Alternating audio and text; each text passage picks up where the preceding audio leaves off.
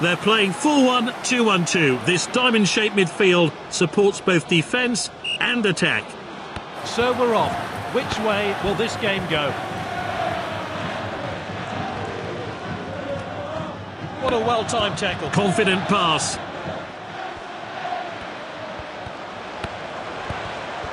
And this really takes the pressure off the defence. Finds his teammate. And that's lofted upfield.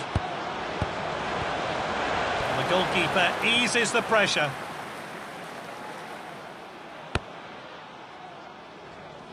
Oh, well intercepted. Fernandez.